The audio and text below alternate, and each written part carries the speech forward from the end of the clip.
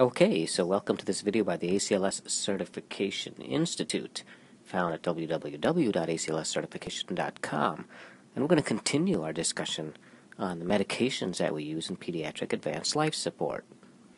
And in the last video, we finished off with epinephrine, and you know we're going through these in alphabetical order.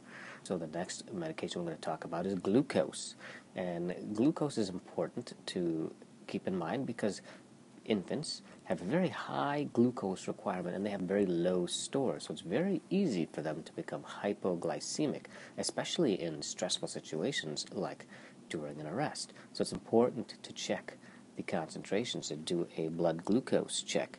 And so the dose of glucose is going to be 0.5 to 1 gram per kilo given IV or IO. Now there's an easier way that I use to remember that, and that's called the Rule 50s. And what that says is that uh, you're going to give a different dose based on whether they're newborns, infants, or adolescents. And the the amount you give times the concentration you give is going to multiply to be 50. See, 5 times 10 is 50, 2 times 25 is 50, and 1 times 50 is 50. So in newborns, you give 5 mLs per kg of D10 water. Infants and kids, 2 mLs per kg of D25 water. And in adolescents, it's 1 ml per kg of D50 water. So let's go to the next medication, which is lidocaine. And lidocaine uh, works by decreasing arrhythmias. It slows down conduction through the heart. It decreases automaticity. It's not as effective as amiodarone, though. And really, no study has shown that lidocaine or amiodarone improves survival to discharge from the hospital, but we give it nonetheless. Uh, another thing that I remember with lidocaine is that if you give too much of it, it has toxicity. Things such as uh, decreasing the blood pressure, myocardial depression, and seizures. So, 3 milligrams per kilogram is a limit at which we're going to start developing toxicity. So, the dose here is 1 milligram per kilogram bolus. And if you need to give a drip, you could give 20 to 50 micrograms per kilo per minute per as a drip. But as we said, we are pretty much not going to use lidocaine. It's an older medication and it's been supplanted by amiodarone. The next medication that we're going to look at is magnesium.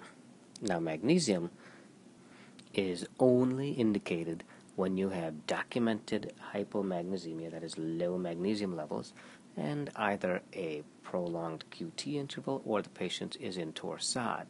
Uh, then you can give magnesium. And the dose of this is to give 20 to 50 milligrams per kg over 10 to 20 minutes. Now, the reason that you give it slowly over 10 to 20 minutes is it can cause hypotension, and so you want to avoid that. Now, of course, if the patient is in torsade, this horrible dysrhythmia here, they will not have a blood pressure, and so you can give it faster because you can't get any lower than zero. And there's a max, and the max is 2 grams. The next medication that we're going to go visit is naloxone, and naloxone is an opiate antagonist. It uh, it's usually not included in our ACLS as one of its kind of medications, but respiratory depression is one of its, uh, the main side effects of narcotic medications, and so that we know respiratory depression can cause a cardiac arrest in, pa- in our pediatric patients. So if you have a patient in whom you are suspecting an opiate overdose, consider naloxone. And the dose is for kids that are less than 5 years of age or 20 kilograms, give 0.1 milligram per kg, and that will hopefully flood all their receptors and turn off all of the opiates. So it's a full reversal. In adults, sometimes we don't want to give a full reversal dose because if we do, then we're going to precipitate withdrawal, especially in patients who are addicted to narcotics, and in which case we would titrate it. If that should happen in a child, you can give 1 to 5 micrograms per kilogram and titrate to, a, to effect. But usually you're going to be giving the full reversal dose. The next medication we're going to talk about is procainamide.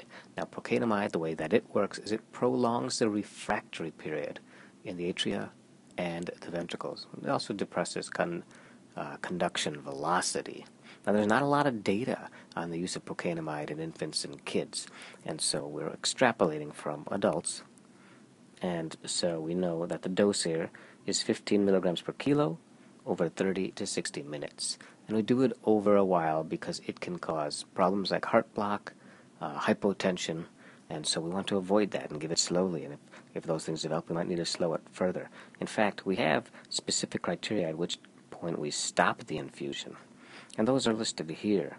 These are what we will use in adults. If the dysrhythmia stops, well, then let's not give any more of this drug if we fix the problem because we know this drug has its problems. If we develop any of those problems, like hypotension or a prolonged QT, then stop the drug. Or if you've reached your maximum dose, which is 17 milligrams per kilo. And another thing that you should keep in mind is that procainamide prolongs the QT, and so does amiodarone. So giving those two drugs together can be potentially uh, troublesome.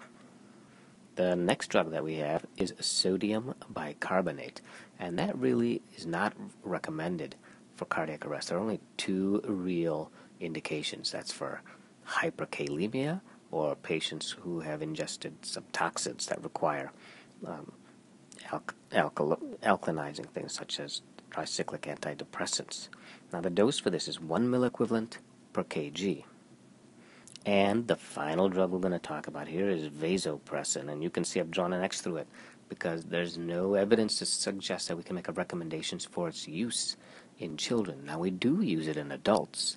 We use it for the first or second dose uh, as a vasopressor in, in, in adults with pulseless arrest, but there's not enough evidence to suggest its use in children. And in fact, there is some evidence saying that maybe it's not so great in adults either. I'll quote the paper for you. They say preponderance of controlled trials in adults do not demonstrate a benefit. So now with this the conclusion of this video, we have gone through all of the drugs uh, that we're going to be using in ACLS. And so we're going to go through the protocols next. And I just wanted to thank you for watching, and I'll see you later.